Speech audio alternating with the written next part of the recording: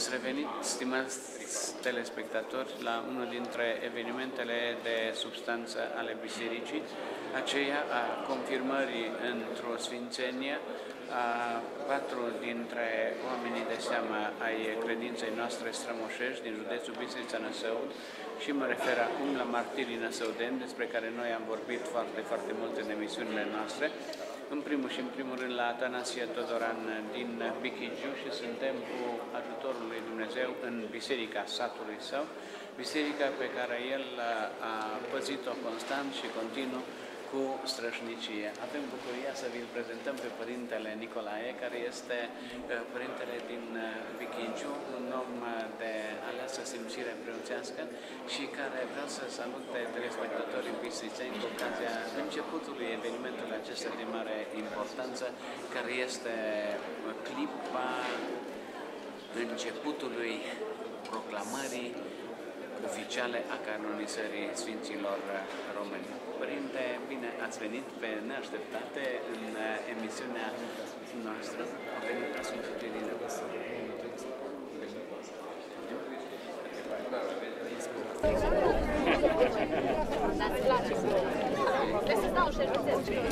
Hai că înainte de Dumnezeu trebuie să fie mama.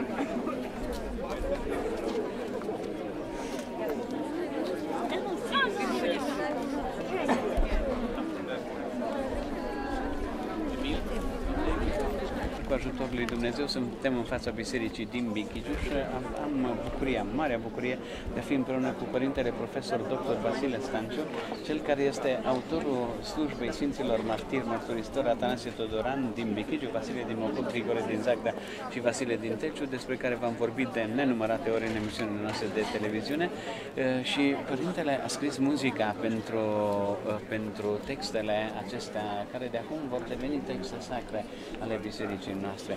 Părinte, vă rugăm să ne, să ne spuneți câteva lucruri, spuneți telespectatorilor bistrițeni și celor care ne aud din împrejurim și ne văd despre evenimentul acesta și despre cartea pe care frăția voastră ați scris-o. În primul rând le adresez salutul de Hristos a înviat și mă bucur să fim în ochii bistrițenilor prin intermediul televiziunii, dar sperăm că acești ochi să pătrundă apoi în inimă și inima apoi să coboare în Duhul rugăciunii. Pentru că acest Duh al rugăciunii m-a inspirat și pe mine în alcătuirea melodiilor și a muzicii vecerniei, a utreniei și a catistului Sfinților martirii și mărturisitori năsăudeni.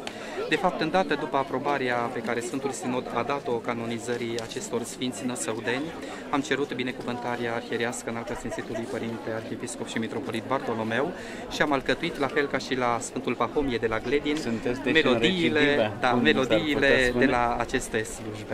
Este un uh, moment deosebit în care noi, cei care am uh, avut uh, uh, bucuria de a fi împreună în Gledin, să vă mulțumim pentru, și pentru faptul că a scris muzica pentru slujba Sfântului Ierarh Pahomie de la Gledin, așa cum este numit de înaltul nostru ierarh, într-o încă un estimat în cununa cea neveștejită a Sfinților uh, români. Acum suntem la Sfinții Martiri. Spuneți-ne, atunci când este vorba despre martiri sau despre mucenici, așa cum ne zicem noi în Ortodoxie, că muzica are o altă notă, este uh, mai tristă? Sau nu are niciun fel de tristețe pentru că ei sunt în cer lângă Mântuitorul Da, Iisus muzica Hristos? bisericească, din fericire, zic eu, pentru noi, nu are această notă de tristețe, pentru că ea este doxologică. Și uh, sfinții, de fapt, nu au murit, n-au de ce să ne inspire tristețe, ci din potrivă bucurie. Și atunci și pe mine uh, m-au îndemnat uh, aceste principii și aceste trăiri ale bucuriei în alcătuirea acestor melodii. Și mai cu seamă că le dăm o dimensiune liturgică, doxologică, prin care noi îl preamărim pe Dumnezeu prin Sfinții Lui. Dimensiunea liturgică este cu certitudine cea mai importantă dintre toate, pentru că liturghisirea uh, este valoarea supremă în biserică, participarea la taina aceasta mare a întâlnirii omului cu Dumnezeu. Uh, Vocile uh, tinerilor studenți pe care îi pregătiți dumneavoastră vor aduce cu certitudine bucurie în inimile celor care vor participa la începutul slujbei de canonizare de la Bichigiu și apoi mâine la Salva, dar vor aduce de acum înainte și bucuria unor oameni care vor găsi uh, pe note tot ceea ce înseamnă modul în care va trebui să fie cinstiți uh, oamenii aceștia care din începând de mâine vor deveni sfinți ai bisericii noastre întregi ortodoxe. Părinte uh, profesor Stanciu, vreau să vă mulțumesc într-un mod cu totul și cu totul aparte pentru faptul că dumneavoastră ați binevoit să aduceți bucuria cântării în splendoarea liturgică a evenimentului de față. Vă mulțumesc și eu și sper ca uh, bunii credincioși care ne ascultă uh, să poată gusta fiorul învierii pe care eu am încercat să-l strecor în toate melodiile acestea închinate Sfinților Măsăude. Vă mulțumesc în numele tuturor bistrițenilor care vă vor uh, vedea în emisiunile care urmează.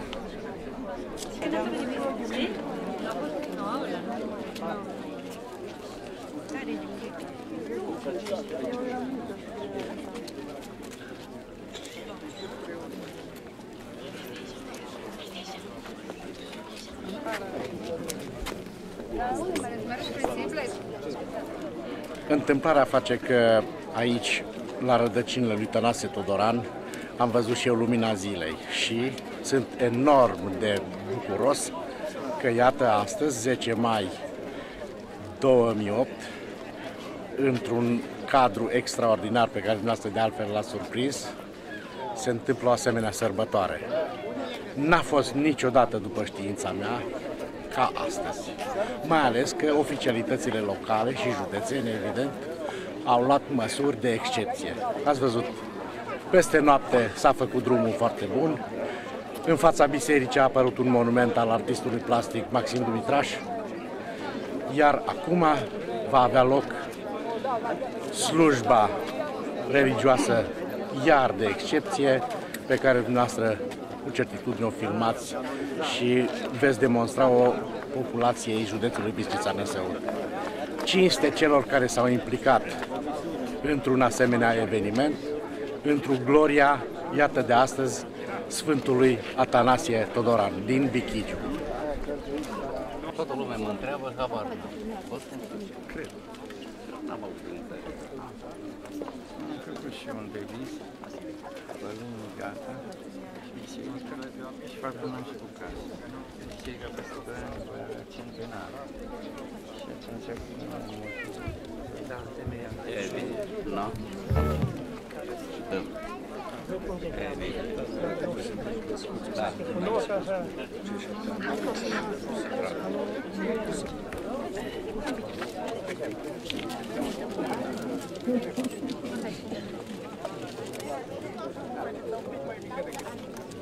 É, Obrigado.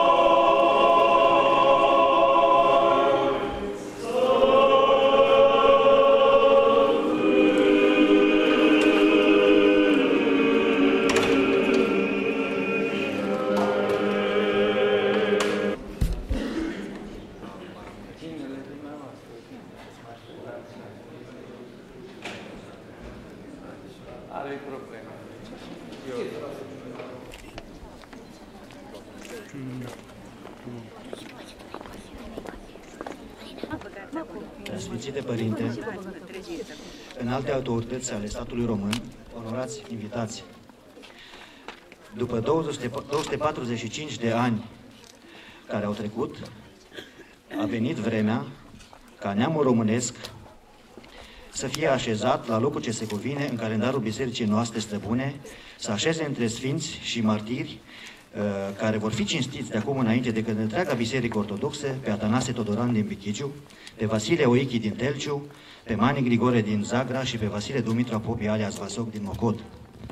Atanase Todoran a trăit între anii 104, a trăit 104 ani, până în 1763 ca să vadă pieirea bisericii mănăstirii din Bichigiu, titorie voievodală a lui Petru Rareș, a episcopului Ardealului Ioan Naier și a eromonarhilor Matei, Alexandru și Petru, rezidită, cum spune un vechi document latin, în locul unei mănăstiri și mai vechi ce se află între hotarele comunelor Telciu și Hordou, pe apa, pe apa Bichigiului.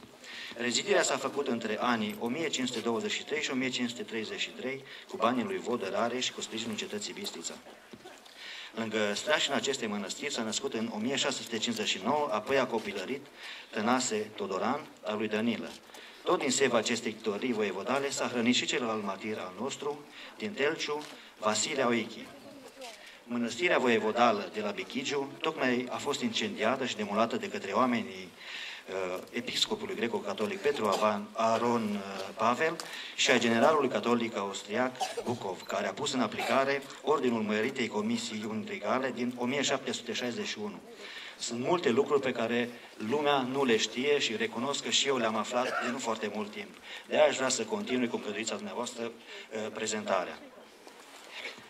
Mănăstirile ortodoxe din lemn să, ar, să fie arse pretutindere, cele din piatră să fie distruse, iar dacă cineva s-ar opune în mod temerar, să fie pedepsit negreșit, prin moarte, prin spânzurătoare sau prin pierderea capului. Așa suna Comisiunea Regală din anul 1761. Trecuse abia un an și cei ce au terorizat și alungat călugării, apoi au demolat mănăstirea, au venit să ceară năsăudenilor și bistițenilor români ortodox jurământ militar într-o altă credință, străină lor, credință sub uh, porunca și îndrumarea căreia îi se demurase uh, sanctuarul lor de noblețe și de per duhovnicesc și îl aveau încă de pe vremea lui uh, Vodă Rareș. Nu-l demoraseră numai pe acesta, n-a scăpat de prăbudul lor nici o mănăstire ortodoxă și nici schiturile din toată Transilvania, după cum bine se știe. Actul acesta de barbarism a determinat pe bătrânul nostru oștean, Patanase Todoran, să-i numească pe cei care l-au comis păgâni. Deși se cunoaște conținutul actului de condamnare la moarte a acestor matiri ai ortodoxiei, care s-au opus demolării bisericilor și trecerii cu forță la catolicism al românilor, reamintim ca să înțeleagă foarte clar semnificația evenimentului de astăzi. În primul rând, apare Todoran al lui Danilă din Bichigiu, de 120 de ani, dar care, conform unor documente, ar avea doar 104 de ani, doar 104 ani, subliniez, acesta să fie frânt cu roata de jos în sus, iar capul lui să fie legat de o roată, pentru că a reținut pe oameni de la unire și de la înrolarea în statul militar grăniceresc, precum și pentru că la cerea străduitoare a fiului său, muribund, n-a lăsat să-i se ofere acestuia Sfânta Comunicătură, azima. Vasile Dumitru Apopi, alias Vasoc din Motcod, să fie trecut de la viață la moarte prin ștrag pentru rebeliune. Al treilea este Manu Grigore din Zagra, să fie spânzurat tot pentru aceeași crimă. Și al patrulea, Vasile Oichi de la Telciu, să fie pedepsit la fel. Trupurile acestor criminali să fie lăsate neînmormântate pe locuri de pierzare, ca pildă de groază pentru alții.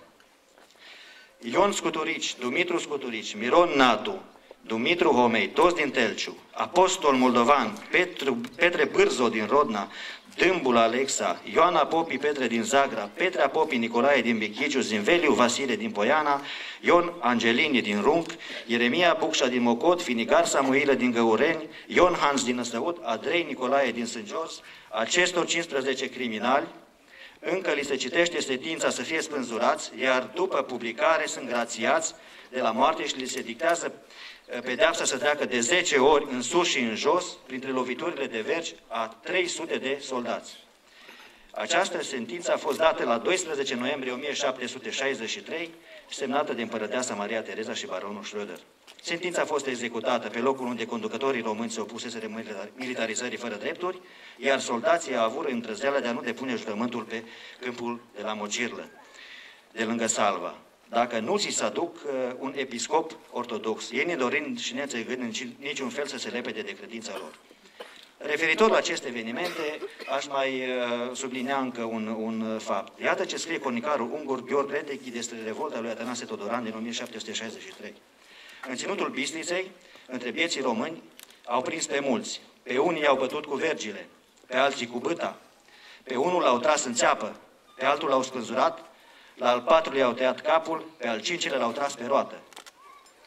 Se zice că acesta din urmă era de 104 ani și nu e acuzat de altceva decât că în vara trecută, nota noastră, 1763, pe când generalul Bucov cu episcopul unit Petru Aron din Bistrița a venit între ei și a produs a produs o mare tulburare și atât generalul cât și Vlădica au fost siliți să plece de acolo fugind. Se zice că acest bătrân s-a dus la Vlădica și a spus, Fiul meu, de unde ești? Acesta i-a răspuns că de la Blaj. Dacă ești de la Blaj și împărăteasa ți-a dat domeniu, du-te acolo, stai liniștit, nu ne mai tulbura pe noi în credința noastră. Moșneagul, care la vârsta de 104 ani a fost robit pe roată pentru credința sa, se numea Tănase Todoran din Bechigiu. Înainte de rebeliunea armată de la Salva, Sfântul Atanase Todoran a fost închis câțiva ani în turnul dogarilor, în cetatea Bistrița, pentru că s-a opus cu îndrăgire împărtășirii fiului său muribund cu azimă, precum și spovedirii lui de către un preot catolic. Bătrânul l-a îngropat în cultul credinței strămoșești peste voia autorităților, căci el nu aderase și nu se pricepea de ce să fie catolic. Sfântul Vasile Oichi de la Telciu a fost spânzurat pentru că a însoțit o delegație de români la Viena pentru apărarea ortodoxiei, iar în momentul în care episcopul greco-catolic Petru Pavel Aron a vrut să intre în biserica din Telciu, s-a opus și tot satul l-a ascultat, episcopul ocupând biserica cu armata.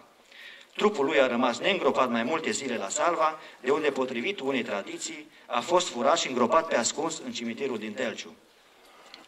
Ceilalți, ceilalți concetățenii ai noștri, că mai sunt, așa cum ați observat din enumerarea dinainte, și mai spun încă o dată, Ion Scuturici, Dumitru Scuturici, Miron Natu, Dumitru Homei, toți din Telciu, precum și Petre Apopi, Nicolae din Bichigiu, au suferit și ei groaza condamnării la moarte. În ultimul moment, în sentință a fost comutată. Sfântul Sinod al Bisericii Ortodoxe Române a canonizat dar doar pe cei care și-au dat viața pentru Hristos și Biserica sa. Însă noi considerăm că și aceștia sunt la fel de vreșnici de cinstire și, de, și eu cred că în calitate de primar al Comunei Telciu, în aceste momente unice pentru noi, pentru comuna noastră, în care toată România este cu ochii la noi și vorbește laudativ despre înaintașii noștri, iar numele comunei noastre va fi trecut de acum înainte, în fiecare an în calendar, așa cum știți, la 12 noiembrie, eu cred că este momentul să cinstim ca mărturisitori ai dreptei credințe. În încheiere, aș dori să mai spun doar câteva lucruri. Astăzi se împlinește dorința martirilor noștri care cereau următorul lucru. Vrem vlădică de legea noastră, altfel nu jurăm. Iată așadar, nu doar un vlădică de legea noastră este astăzi aici, aproape întreg Sfântul Sinod al Bisericii Ortodoxe Române este astăzi aici și va fi mâine la Salva, cu voi, cu noi, cu toții, la Bechigiu, la Telciu și la Salva, cum am spus, mâine, unde ați fost martirizați înaintașii noștri. Toți au venit aici să vă cinstească, să se roage vouă. Vă rugăm să mijlociți de acum înainte pentru noi toți. Toți suntem mândri astăzi că pe meleagurile noastre, din spița neamului nostru, au ieșit și s-au dat țării astfel de eroi și sfinți ai Bisericii Ortodoxe. Vă mulțumesc și le mulțumim.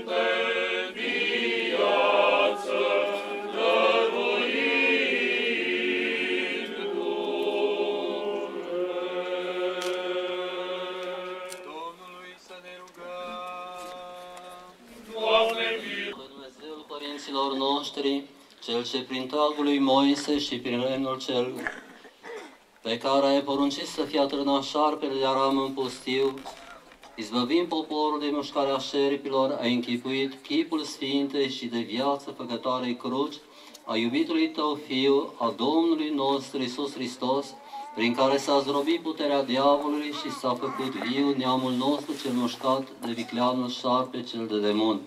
Cu milință cădem la iubirea ta de oameni, cea nemăsurată și te rugăm și cerem.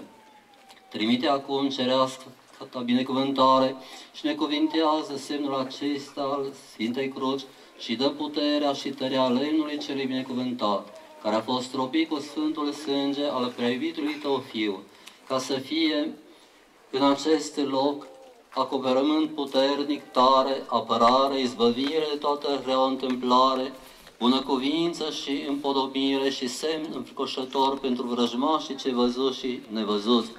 Iar pe cei ce se vor închina acestei cruci și vor trece prin fața acestei biserici, închinându-se, necuvintează și apără cu puterea Sfintei Cruci și păzește totdeauna nevătămați de tot răul.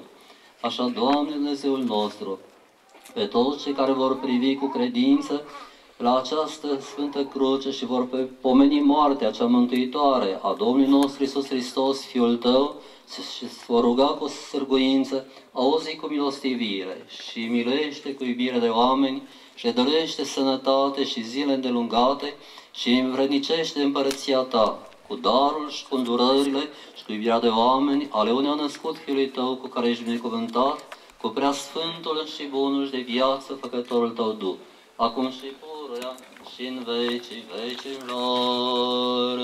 Semnul acestei cruci, cu harul prea Sfântului Duh, prin stropirea ca aceasta păsfințită, numele Tatălui și al Fiului și al Sfântului Duh.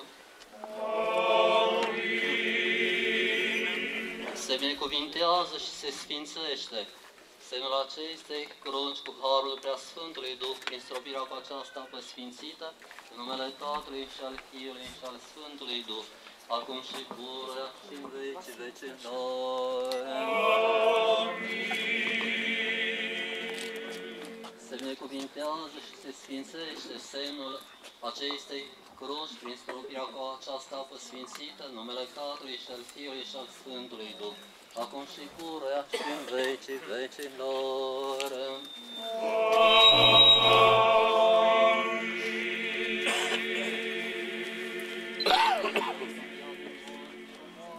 O să ia din morți cu moartea pe moarte călcând și celor din de viață dăruindu-le adevăratul Dumnezeul nostru pentru rugăciunile preacratei Maicii sale, cu puterea cinstită și de viață făcătoarei cruci, pentru rugăciunile Sfinților Atanasie, Vasile, Grigore și Vasile și pentru rugăciunile tuturor Sfinților, să ne miluiască, să ne mântuiască pe noi, ca un bun și de oameni iubitor.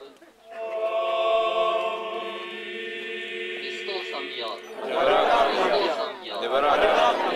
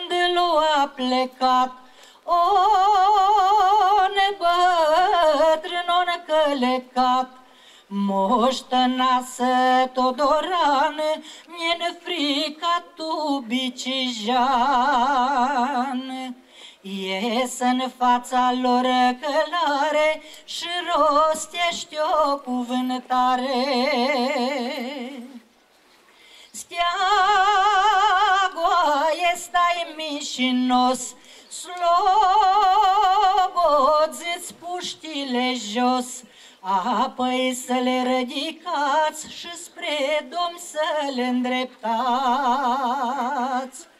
Din la înalta împărăție o venit o comnișie și pe muleții judecare fește care cum să ceară. Unii în temniță băgați, iar aleți spânzurați. Nu, mamoșu Todoran, ne frica tu bicijan. Ele s-o sfârșit traspărată, plâns și azi e lumea toată. Lângă salva pămoșirile și codru plânge demnilă. Un manu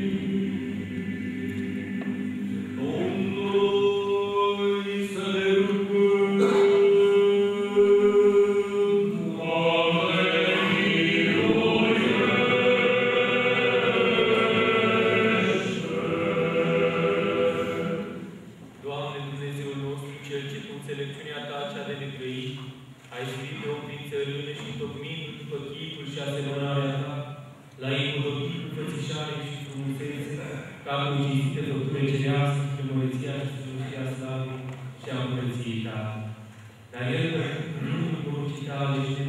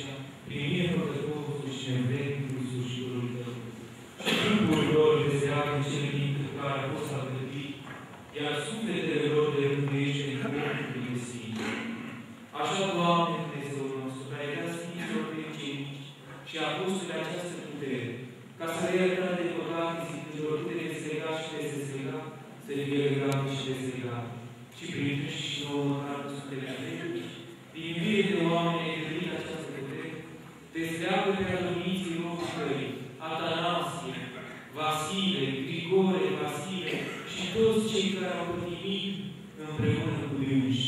De păcatul sufletesc și plutesc. Și să fie iertat și viața acum și cel ce va să fie. Pentru plăciune prea curată și purea picioare Maicii și ale tuturor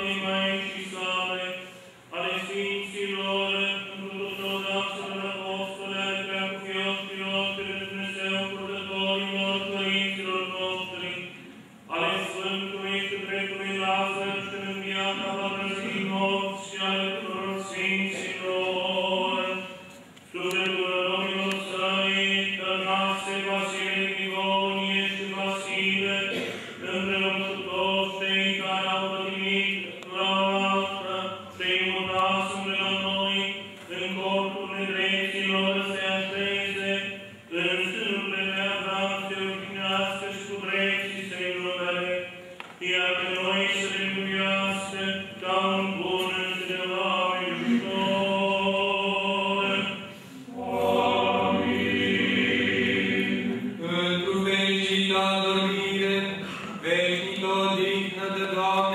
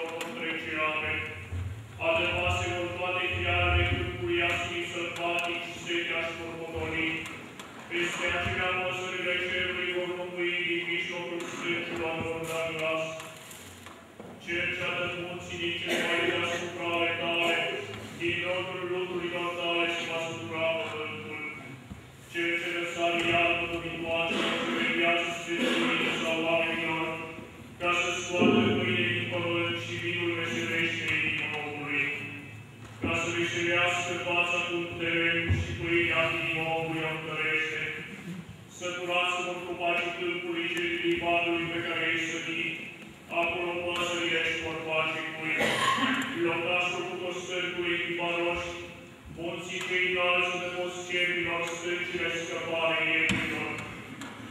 Păi ai una spre vremi soarele și-a cunoscut apusul său, pus ai întuneric și s-a făcut noapte când vor ieși toate fiarele pădurii. Toți